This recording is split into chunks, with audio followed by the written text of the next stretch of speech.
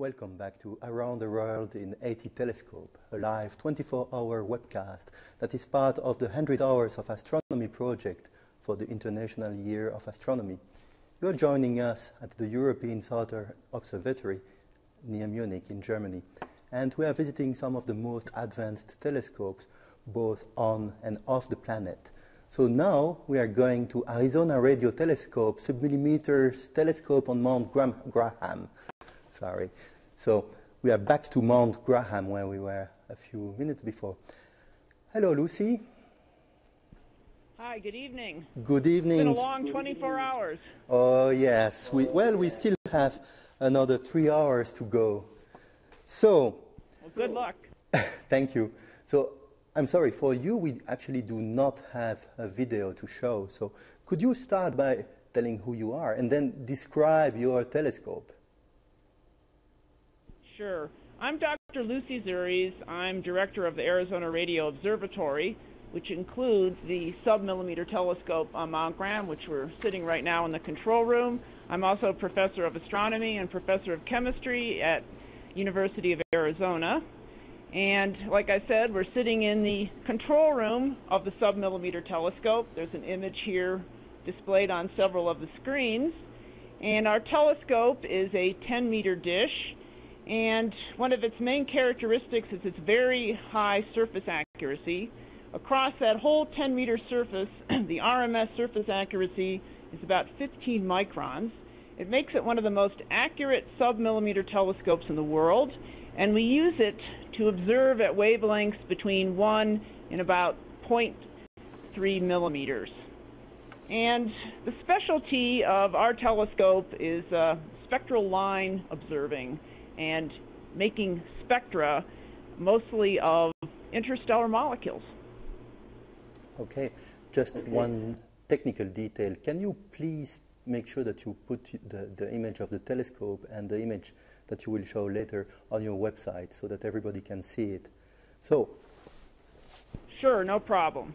Th thanks a lot. So, you are observing in millimeter, submillimeter, and you're observing spectral lines. Can, can you tell us a little bit more? I, I, I read this is your main research topic, so what, what do you study with these lines?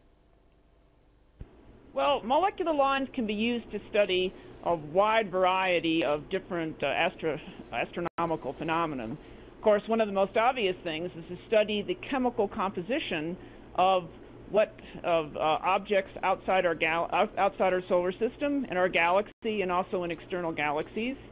And we also use molecular lines to study how stars are formed, i.e. star formation, and how stars die by observing molecules around dying stars, something called asymptotic giant branch stars, and supergiant stars.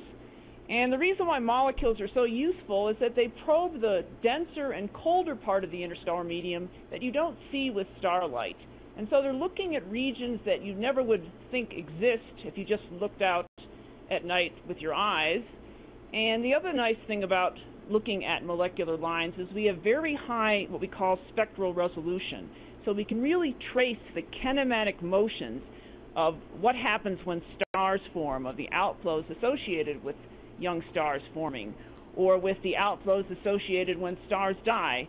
And so that gives us a really unique way to probe what we call the interstellar medium, the material between the stars. It also has relevance for origins of life because our solar system and all solar systems actually form in a big giant gas cloud full of molecules.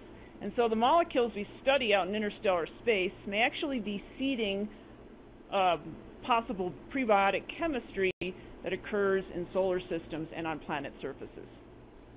Could you tell us a little bit more about these prebiotic molecules? What are they and how closely related are they to our stuff? Well, actually, they're very closely related to our stuff. In fact, some of them are common organic molecules that we find here on Earth. Of course, we see things like uh, methanol, ethanol, ether, um, even a very simple sugar called glycolaldehyde, sort of, and formamide, some of the very basic building blocks that would lead to more complex organic molecules and possibly to things like DNA, RNA, and other um, biologically important macromolecules. Okay, uh, we have a spectrum of yours. maybe we could see what these, what these lines look like. So this is the, the kind of data that you are getting with the telescope. Can you tell yes, us more? This shows us more? Certainly. There's been a lot of talk tonight about looking at the black hole in the galactic center, and that's a source called Sag star. What we're looking at here is data from a molecular cloud near Sag star, a source known as Sagittarius B2 North. And it's a giant molecular cloud where young stars are forming. It's very massive, and it happens to be full of organic molecules. And what we see here is just a tiny bit of a spectrum of a very large uh, spectral survey we've taken of this galactic center source. And you can see from this data, it's basically nothing but wall-to-wall molecular lines. What we're showing here is something called we call astronomers call the spectral line confusion limit, where there's so many lines they just fall right on top of one another.